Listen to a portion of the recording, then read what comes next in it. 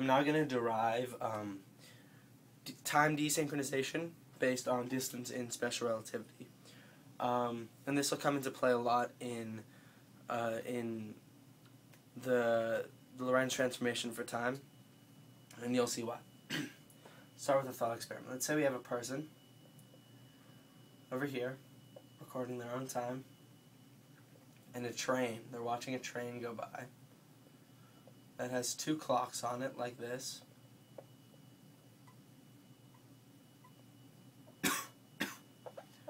it's going at velocity v.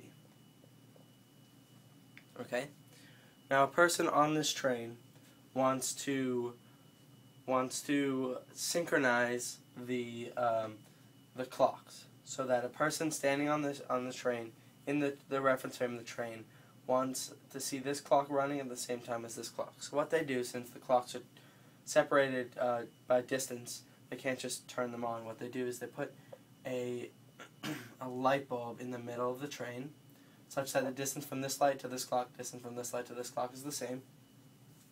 Um, because these clocks are photoreceptive, what they're going to do is they're going to turn the light on, and it's going to shoot out light waves, photons, towards these two clocks, and a person standing uh, in the train would see the light waves hit the two clocks at the same time, and they would be running at the same time and be synchronized. However, in um, in special relativity, uh, this isn't the case because what was actually measured and discovered is that the speed of light is absolute and independent on reference frame. So this light beam would be going out at c and this light beam will be going out at c in the opposite direction, regardless of velocity of the train or this person's perspective, whatever. Um, it would the, it, it, this speed of this beam would now be c plus the velocity of the train, and the velocity of this light beam would not be the difference between the velocity of the train and the velocity of light. Because uh, that that that's just the principle of relativity that light is absolute independent of reference frame. So now in this next stage where the train is in this position, because it's moved, because it's got a velocity, a certain time has gone by, we see this, or this person sees this. A person in um, that train itself would not see this. A person in the train itself would see that. Because uh, from their perspective in that train, the speed of light, or the light beams would be going out at the speed of light and strike the clocks at the same time. But from this person's perspective, this is what he sees. He would see the light hit this clock first, and this clock second, and this this clock this clock would begin running first, and there'd be a desynchronization between the times.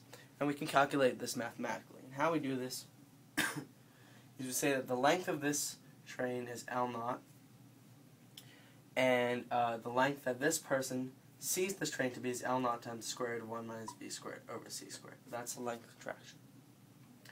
And then we say the distance from this clock to this light and this light to this clock is L over 2 times the square root of 1 minus v squared of c squared. Simple enough. And now there's another way to calculate this distance using time. Watch. We say that um, uh, if everything was transparent except for the clocks, we would see this. This clock. And this clock going at this these velocities and the light beams going at these velocities. So we could say that the distance from this clock to the, the light in the middle would be V plus C times the time that it takes um, the two to meet, we'll call that TA, and the, uh, the and, and the reason for that is that if because the velocity of the clock is going this direction the, and the velocity of the light is going in this direction so the additive it's like if i'm going at riding my bike at 5 meters per second and there's a car coming at me at 10 meters per second i'm going to see the car coming at me at 15 meters per second. And we just take that 15 meters per second and multiply by the um, the time that it took for us to meet i figure out how far we were apart at the beginning. Just like over here since they're going in the same direction we subtract them we say it would be c minus v times t, let's call it tb, the time that it takes them to, to uh, reach each other is the distance, and that's because if I was traveling at 5 meters per second on my bike, and there was a car going past me now in the same direction, 15 meters per second, I would see the car going by at 15 minus 5 at 10 meters per second. If I took that 10 meters per second and multiplied by the time that it took us to meet, I would get the distance that we were apart originally. Okay? So these two are equal and they equal this. So let's let's write that. Let's say L naught over 2 equals C plus V. Oh, whoa, sorry. L naught over 2 times the square root of 1 minus V squared over C squared equals TA times C plus V, which also equals TB times C minus V. And now let's solve for TA and TB. You get TA equals 1 over C plus V times L naught over 2 times the square root of 1 minus V squared over C squared. Just dividing plus just dividing by C plus V. And TB equals 1 over C minus V times L naught over 2 times the square root of 1 minus V squared over C squared. Okay, I'm going to erase this. Now it's just mathematics. Keep this thought experiment in your mind. We say the desynchronization between the clocks is the difference between the times, TB minus TA, because if it took if um, it took five seconds to hit one clock and ten seconds to hit the other clock, then the the second clock will be running um, at a difference of five seconds, ten minus five, would uh, and there would always be a five seconds lapse or, or desynchronization of time between the two clocks. So we just subtract them we can take out the L naught over 2 from both of them times the square root of 1 minus v squared over c squared. And now, what it become? 1 over c minus v minus 1 over c plus v. tb minus ta. Okay? Now I'm going to multiply, I'm gonna, just going to simplify this. Multiply this, the top by c plus v and the bottom by c plus v multiply the top by c minus v and the bottom by c minus v. Um, it's basically like a multiplying fraction. Um, multiplying by 1, just to simplify this, I get this equals c plus v over c squared minus v squared minus c minus v over c squared minus v squared times L naught over 2 times the square root of 1 minus v squared over c squared, which becomes c plus v minus c, when I distribute this negative, becomes minus c plus v over c squared minus v squared times L naught over 2 times the square root of 1 minus v squared over c squared. Uh, the c's cancel, and that becomes 2v, so it becomes 2v over c squared minus v squared times L naught over 2 times the square root of 1 minus v squared over c squared, and the 2's cancel, okay?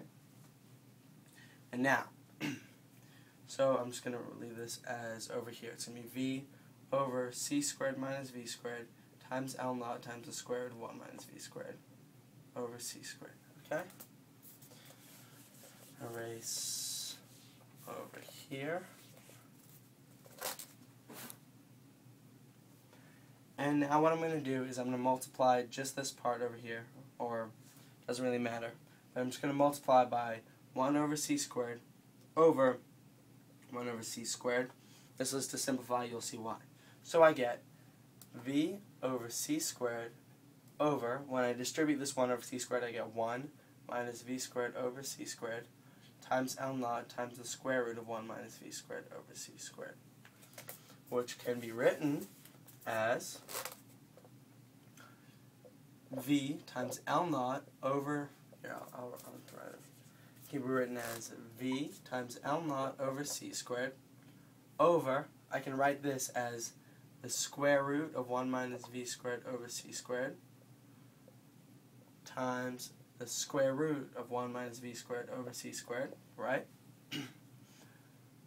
All multiplied by 1 minus v squared over c squared, the square root of that. And then this cancels, and I get v L naught over c squared over the square root of 1 minus v squared over c squared, or v L naught over c squared times gamma.